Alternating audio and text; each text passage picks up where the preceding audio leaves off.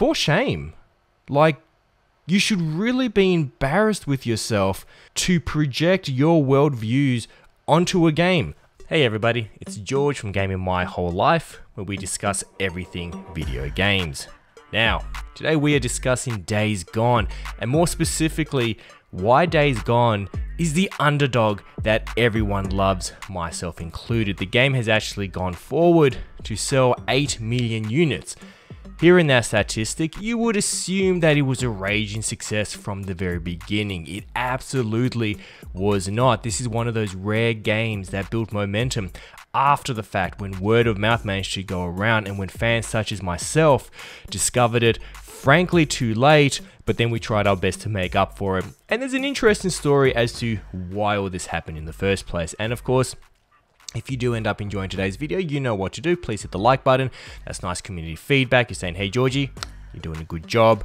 And uh, do consider subscribing as I cover everything video game related. So let's start with some of the basic facts about Days Gone to get you up to speed. So it was a brand new Sony IP that came out on the PlayStation 4 and it launched um, April 26th, 2019. What's interesting is the developers, Bend Studios, are actually the same people who made, remember Siphon Filter?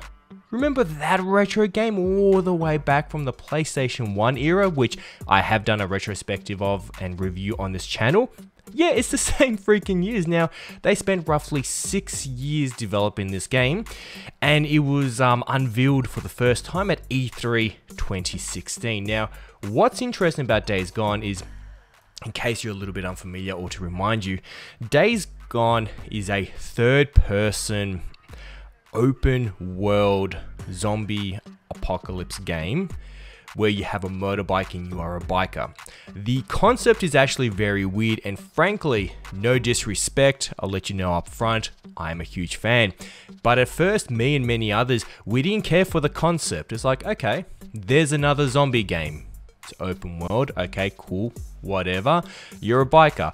If you're not into bikes, then that does that's not a selling point to you. It's like, cool, okay, I play games where sometimes I'm driving a car and sometimes I'm riding a bike. Like what it didn't sell it. However, when we had a look at the E3 2016 gameplay, it looked interesting, but confusing. All we saw was a guy shooting at zombies. And granted, there was a lot of zombies. That was a selling feature. It's like, hey, check out this zombie game.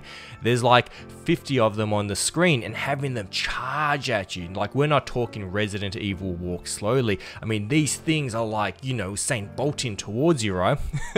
and you're shooting and you're running and you're like, okay, cool. There's a little bit of an interesting concept here, but I'm going to need more. It's like, all right, every time they showed a new trailer, at every single E3 and so forth. It's like, all right, the graphics started to look a little bit better. It started to look a little bit more interesting. But the concept itself still hadn't done anything. On paper, Days Gone didn't sound too interesting apart from, hey, there's gonna be a lot of zombies and you're gonna ride a bike. Bike enthusiasts were probably losing their mind in advance, but the rest of us are like, eh, like we'll see we'll see. We had interest, we're interested in the developer's former work, and of course it was a Sony exclusive with many years development. Six years for Sony seems to be about the sweet spot for their games. Now sadly, on release, we had to rely on reviews. I know hearing that these days is a little bit of a taboo, like, oh my goodness, you listen to reviews, but the truth is, you listen to reviews as well. When it comes to a game that is brand new, that you are uncertain of, of course you're going to see what other people have to say and see if there's similar occurrences. When Days Gone released, I wasn't super hyped for it, but I was curious enough where I was just thinking I might get this. Having a look at all the reviews, see, you look at lots of different reviews, I looked at five five or six of them, and uh, you put it together. You see what the general perspective is, and then you make an informed decision. Because the truth is, the vast majority of us don't have enough money to always ignore reviewers and buy games regardless. We can't afford to buy every single game that we're interested in, especially at launch, if we are uncertain. So of course we listen to the reviewers for the most part and the reviewers described Days Gone in a really, really strange way. I remember thinking about this even back then, right? See, this was a brand new Sony IP. Now, normally, when a brand new Microsoft game comes out or a brand new Nintendo game comes out, and especially if a brand new Sony game comes out, normally reviewers are like just praising the snot out of it. And yes, the vast majority of the time these games are good, but sometimes the reviewers overdo it. Like they just love it. It's, it's, it's like the best game ever every time, right? And yet, Days Gone's reception was, at best, at best, very lukewarm. Very lukewarm. They didn't like the characters. They didn't like the story. They felt the dialogue was very unrelatable. Um, they felt the game wasn't really that fun. They basically said this game was boring, uninterested. Like B2, I made a note here. It was buggy and boring, which is true. When it first launched, there was bugs and all that. So when the game launches that you are already uncertain about, that you already don't know if the idea of just having multiple zombies run at you, even though it's an impressive number, if that's enough, and maybe you do or don't care about the bike thing. And when you read a whole bunch of reviews that are like, this game is buggy, this game is boring, the characters are uninteresting, when you hear that enough time over enough reviews repeated repeatedly, chances are you're going to be like, right, this doesn't seem like a must have immediate buy. And that's the decision I made. And it turned out that's the decision that a lot of people made. And games normally, historically, their success is dependent upon the release of a game because that's when the most hype and excitement is. Developers know within a couple days if a game is a raging success or not. And uh, Days Gone wasn't off to a good start. And Sony saw this and Sony was disappointed. And also, because of that, that's why there is no Days Gone 2. Despite the long winded tale that got it a lot of extra sales, and there's a lot more to discuss going forward. Okay, so eventually enough time went, Days Gone went on sale, and I got round to buying the game. It's like it was really cheap. I bought it for barely anything, right? Hmm. But even though I remembered vaguely that, you know, the reviews weren't so positive and all that, there was always a thought at the back of my head that was really curious about how Days Gone would end up looking uh, and playing, I mean. I was always interested, regardless, and I thought, you know what, I'll buy it now that it's cheap. Even if it's bad, at least I know, and if it's good, yay. So I start playing this game, and I am blown away by how freaking gorgeous gorgeous this game was, right? It really truly had the hallmark graphical standards that was set during the later stage of the PlayStation 4's lifespan, you know, with, with the Ghost of Tsushima's and The Last of Us and Spider-Man and so forth. Days Gone was beautiful as you walk around the way the sun impacts the blades of grass, the texture quality on the on the trees, everything coming together, the detail on your bike, the character model himself looks fantastic. I spent a lot of time just walking around up in the mountains. I swear I could feel the fresh air in the location and the sound design as well really brought it together as well minimalistic sound that really lets you take in the environment. I'm walking around and just from a visual perspective, we will definitely talk about the gameplay because that's where it shines the most. But from a visual perspective, I was gobsmacked. I'm just walking around and I'm like, this is the game that people have a problem with? Like I was being biased, it was as soon as I started. But it looks fantastic. So I'm like, okay, cool. Production value, this is some of the best I've seen. Like just, just beautiful, right? Dynamic day and night system. There's even areas where it snows and so forth, and that looks gorgeous. And you know, the environment slowly gets covered by the snow and it's just wonderful, right? Visually, cannot complain. I played it on the PlayStation 4 Pro, so it performed fantastic. It performed bug free. I know for a fact that it launched with bugs and that impacted a lot of initial opinions. By the time I played it, it was a smooth experience. From start to finish, I experienced nothing going wrong. Alrighty, so now let's talk about gameplay. So as I said, um, Days Gone is an open world third person game. You look around, it's beautiful, it's gorgeous, we've already covered that. And you see a few stragglers around, you see a few zombies. Now what's cool about Days Gone is you can do stealth takedowns. You can hide behind a tree and behind the bush. You can slowly sneak up to the zombie, take it down. Very satisfying. If you don't manage to take down the zombie, it will bolt at you. That's right, these zombies aren't going to be dragging their legs, they will run at you. Now, if it's just one or two, you're fine.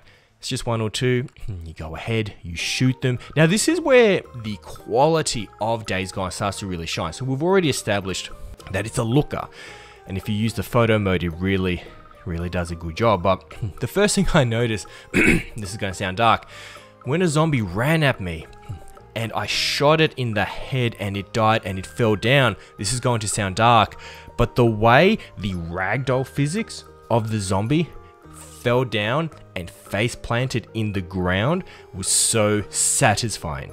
And this did not stop with the zombies, you also have human enemies, right? Don't worry, this will be spoiler free, but you do um, eventually start getting human enemies who have their own guns and so forth. And the amount of times I was at a shootout and an enemy is bolting towards me or they're running or whatever the case being and I shoot them and the way the developers and the animators and the programmers right would get the body so ragdoll physics is basically uh, it's it's the physics right you know when you shoot something dead in a video game or kill it and it falls down and it's not a pre-scripted animation that's ragdoll physics right it was actually introduced by um, 3d studio max um, back on the PlayStation 2. I remember as a student studying that and using that engine at the very start. It was, it was really fun. Anyway, physics have obviously shown my age here. Uh, physics have obviously evolved heavily since then. But just having physics isn't enough, right? Because it looks weird when all of a sudden a zombie is going or a human and they're running and they have a pre-scripted animation. And then you shoot them and then the ragdoll kicks in and then you get this funny, weird, glitchy whatever. I don't know what it was, but for some reason, the way a body fell down in Days Gone, whether it was a zombie, whether it was a human, was so realistic and satisfying. And the reason why I know that is because I noticed. Normally, that's not something I'm paying attention to, but as I kept gunning down people and zombies and the like and trying to survive, I'm like, that looks fantastic. There was something superior about it. And then I realized that same attention to detail seemed to go everywhere and wasn't exclusive just to the ragdoll physics and so forth. You also had melee, which was also very satisfying. You could do some fantastic takedowns, and not even just takedowns, just melee combat itself when you would smack the zombies in the head with whatever weapon you happen to find was fantastic. There was also throwables, so you could get, you know, the classic Molotov clock, uh, cocktails and um, grenades and so forth mix that with the stealth mechanics, mix that with the shooting mechanics, and the fact that it would give you a little bit of a slow mo, so then you could try to be more specific and particular. Fantastic, but that isn't the prime meat and juicy sauce of Days Gone. Days Gone, when it was shown and stuck around for the final game, was all about the hordes, and the hordes create a truly unique experience and ended up being a lot more than simply a gimmick or something that simply set the game apart shooting down a few stragglers, a few random zombies, a few people, whatever, no big deal.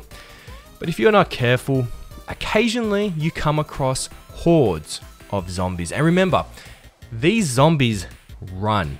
So when you see like 50 of them up a mountain and one of them manages to see you and then they're all running at you, do you have any idea how terrifying it is looking up a hill and seeing 50 zombies just Usain bolting their way towards you.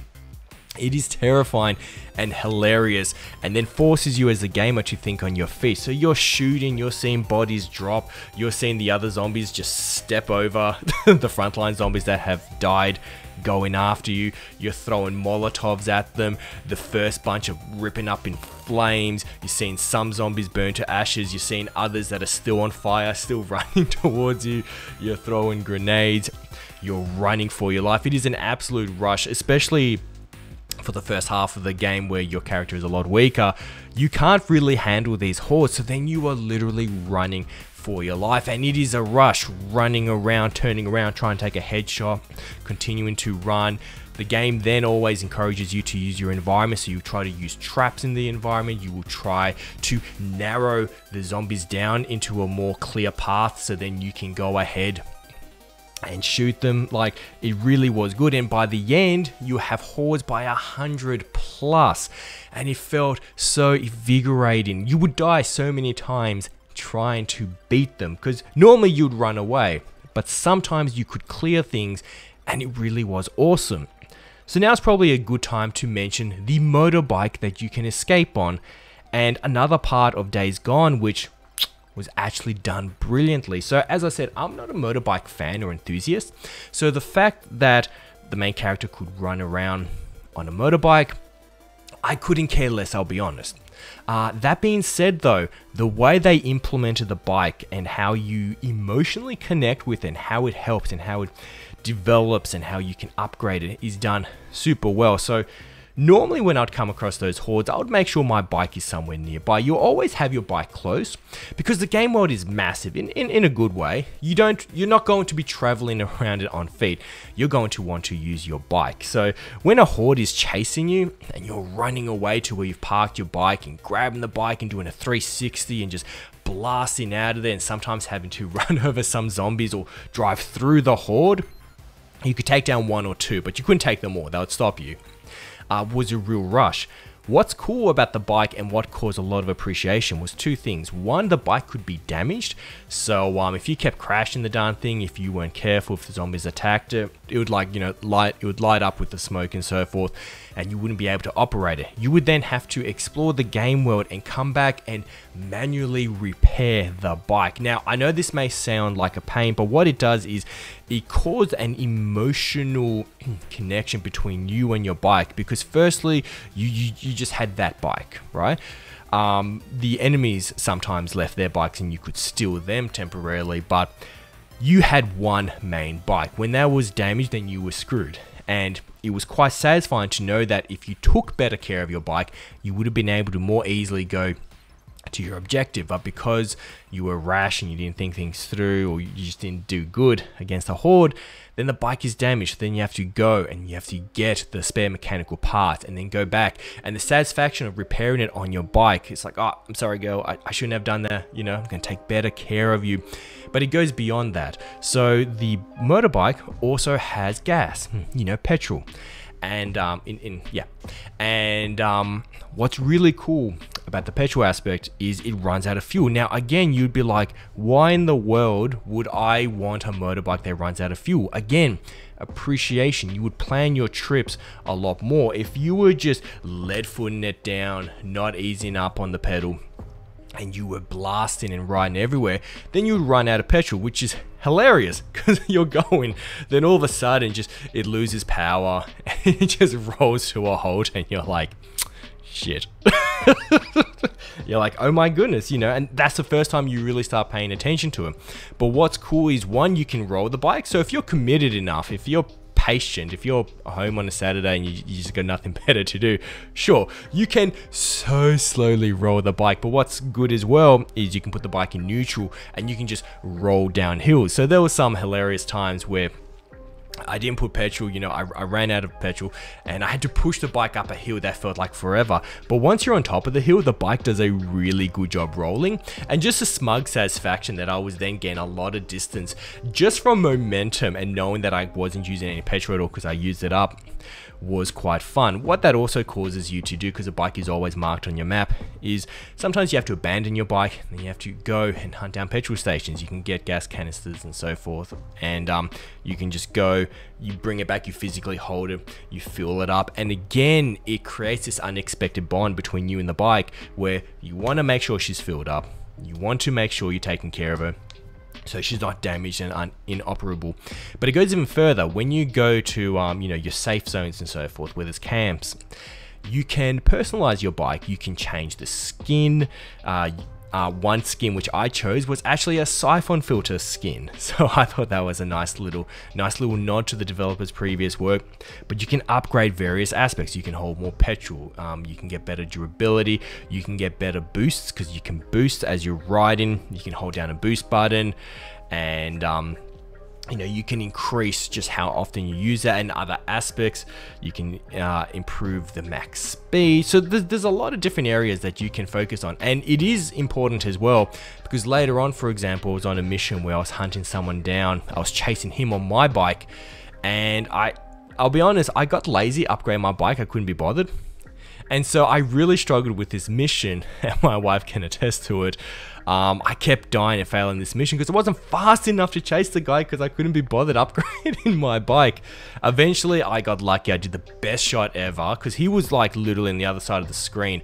I jumped off my bike, ripped out my sniper rifle, and from an insane distance, managed to shoot him. And I'm like, oh, thank goodness because I, I, didn't have the equipment. Um, for this job but it was nice that I had that eventually you do build this connection with the motorbike because it's your investment. It's that thing on you that you see continuously being changed and upgraded and so forth. And you know, you don't take for granted the fact of how far it can take you because you need to think about petrol. You don't take for granted the fact that it can be damaged. So even though you can, you know, go flying and fly off ramps and stuff like that, you still want to be careful about it. You're not going to just go um, mindlessly charging into zombies and running them over because again, you can get damaged. So you build that appreciation. Okay, so the other part of the game that we need to discuss, which is really surprising because this is normally an area in games which I don't care. I'll, I'll admit it, there is a bias there, I don't care, but I don't really care about dialogue that much. I don't pay attention to such things. However, I couldn't help but notice, and I've seen other fans' um, comments online and they feel exactly the same, is the surprising quality that the dialogue in this game has. In other words, normally when you see a game and characters are talking, it feels like a script. It feels like a entertaining script that pushes the story forward and all that, but nevertheless, they don't quite talk the way you and I do. There is none of that back and forth sass. That is normally the case, right, in real life interactions. In Days Gone, every time our main character talks to other people, whether he's being nice, whether he's being a D, whether he's sassing them, feels so real. It feels like you're watching actual conversations. No one's trying to be perfect. It's just real people talking back and forth, giving each other a little bit of shade, teasing each other, saying things naturally that come to their minds as well. It is done so well. You honestly care about every single interaction that you see in this game. And it is shocking that this is one of the things that the reviewers had a problem with, saying that the character is unlikable, the character is unlikable, the dialogue, um, you know, wasn't interesting. We apparently played very different games. This game has some of the most heartwarming characters and realistic takes that I have ever experienced in the medium and trust me, talk to Days Gone fans, they will confirm this. And as I said, this is an area which I normally don't pay attention to. So I'm not simply fanboying because dialogue is something I normally pay attention to. I never pay attention to dialogue. And yet this game, Days Gone, had me paying attention. Now, I'm not going to spoil Days Gone story, but let's just say a lot happens, and it's a long game, so you definitely get value for money. But let me share my experience of what happened when I was done with the game, right? When I was done with the game, I was obsessed with it. Just thinking, wow, this game's fantastic, you know?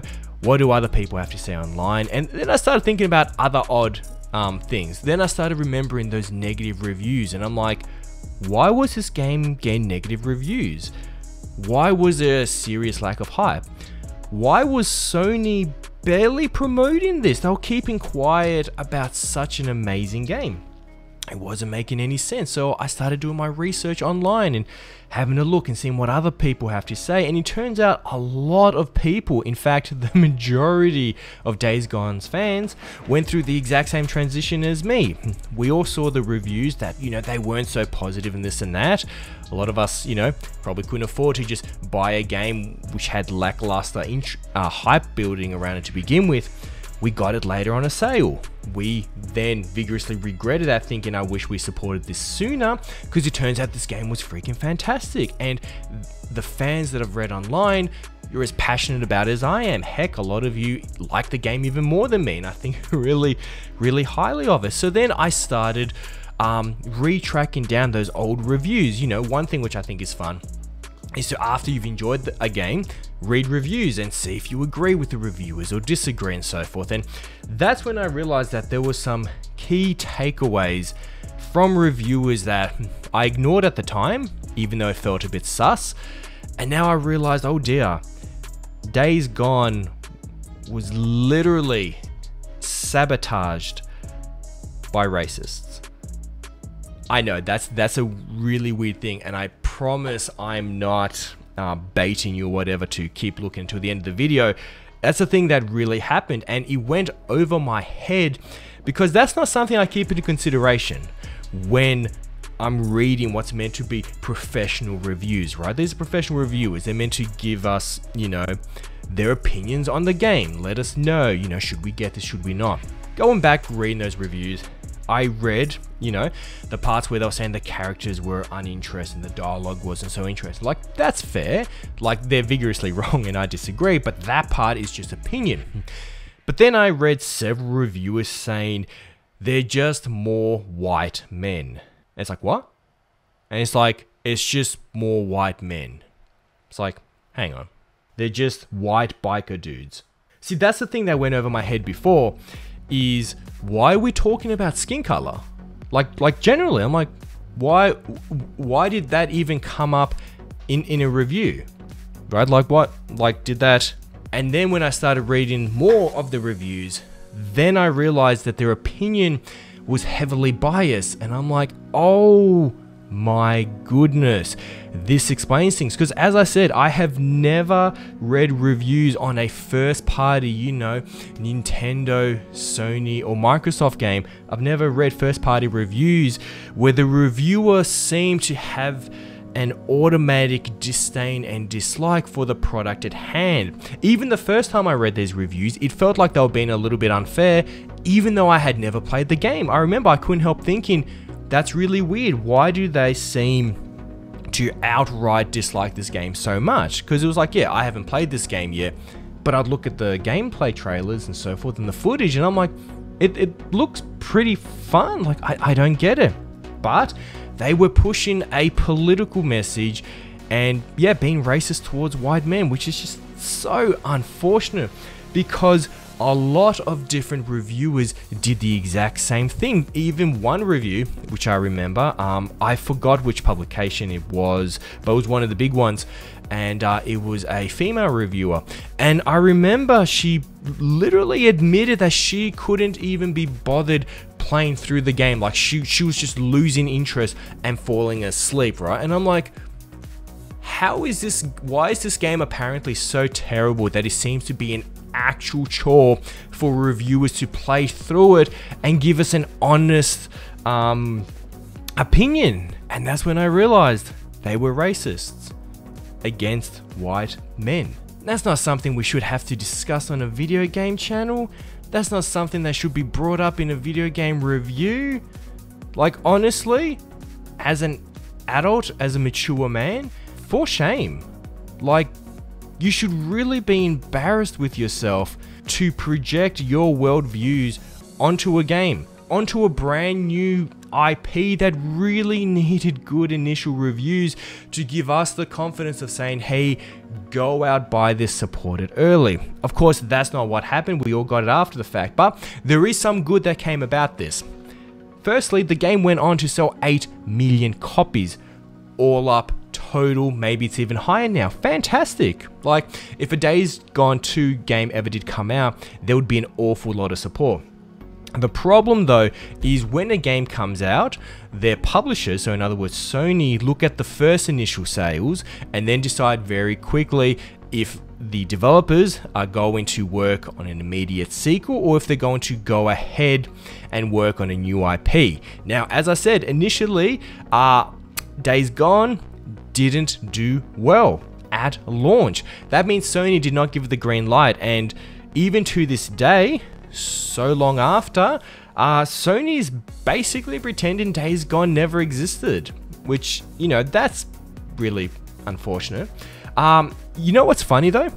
I know I just, you know, maybe it sounded like I'm coming up with accusations about, you know, them being racist and so forth. But firstly, no, they do actually specifically in the game reviews refer and complain about the fact that the characters are predominantly white in this video game. So that's not a theory that, that, that, I've just pulled out. These are things the reviewers had the audacity and nerve to complain about. But since then, we've actually heard from the video game director. So let me read out something very interesting. So even the game director, John Garvin, took to Twitter not too long ago to confirm our suspicions, uh, stating the game didn't receive universal acclaim was because of woke reviewers, that's in brackets, so like quote, sorry, so I actually said that, and reviewers who couldn't be bothered to actually play the game. Again, I do remember that one reviewer who admitted that she didn't even play through it. So sadly, Days Gone was literally the subject of political propaganda for the most part. Who, who would have thought, right? Like, imagine you were working on Days Gone. You put your heart and soul into it for six years. It's like all these people involved and so forth. You're the game director, you know, you're this guy that I just mentioned. And the game comes out and you're just eagerly waiting. You're like, oh, I hope the world uh, accepts this, you know, enjoys the game. I can't wait to hear. And then you're reading review after review after review saying your characters are boring and the dialogue is horrible, which is not the case. Saying the game doesn't look particularly good, it looks fantastic. Complaining about the characters being white. What? What? Why is that even coming up, right? So that would have been heartbreaking for the team, for the game designer as well. And John, the game director, has actually since left Bend Studio. What is sad though, when you think about if we will ever get a Days Gone 2, is so you have the main game director, right? He's left, and he said what he said on Twitter. He basically confirmed what we all suspected. Um, so that's not a rumor or hearsay or anything like that. What is upsetting though is the official Bend Studio Twitter account responded to him, literally saying that anything and everything he's expressed is his opinions and his opinions alone, and that they do not agree with anything he said. So, let, let me put this into context. The game director came out and said what really happened, which it did. You can do your own research, you can look at the reviews yourself, and you will see a similar unfortunate racist trend. All he did was call it out. He's obviously frustrated. He spent a little bit more than a decade, uh, than half a decade, so six years, working on a game. Him and the team obviously put their heart and soul in it. We've seen the end result, like it's phenomenal, right? It's always really hard to make a brand new IP. And to get buried because of politics that have nothing to do with video games, as I keep saying, politics do not belong in video games. To have all that blow up in your face and to experience poor sales, and then to have your publisher see your product as a failure even though the lifespan of it ended up doing really well, you have to keep in mind the vast majority of those sales of those 8 millions were not at full price.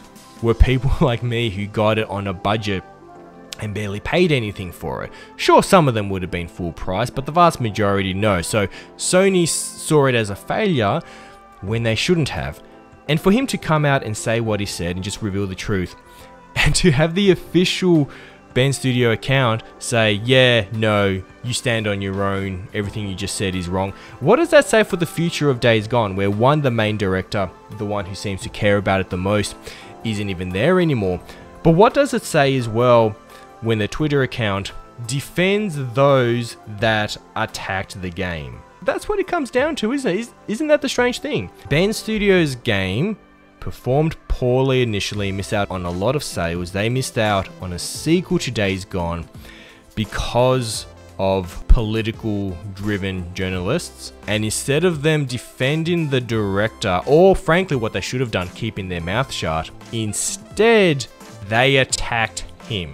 That doesn't sit right with me at all. I'm not sure how I would feel about a Days Gone without the director, and I don't know how I would feel if the person replacing him actually agrees with the very reviewers who destroyed the game and how that would impact development and what they would do to the characters. Anyways, that's the story of the underdog Days Gone. It is a brilliant game if you can get your hands on this game. If you were slightly interested before, you should absolutely give it a chance. Fantastic, experience the characters, experience the story, experience the absolutely stunning visuals, it's it's bug free. It's all good. It's a lot of fun, and this may be a diamond in the rough underdog, which we may never get a sequel to. So enjoy it for what it is. enjoy it for the fact that everything seemed to line up perfectly. That Sony, for a time, invested in this brand new IP. They paid for six years worth of development. It came out, it's great. It's on PC as well. Go enjoy Days Gone, and that's it. It's a fun, gorgeous game. That being said, ladies and gentlemen, thank you so much for hanging out with me.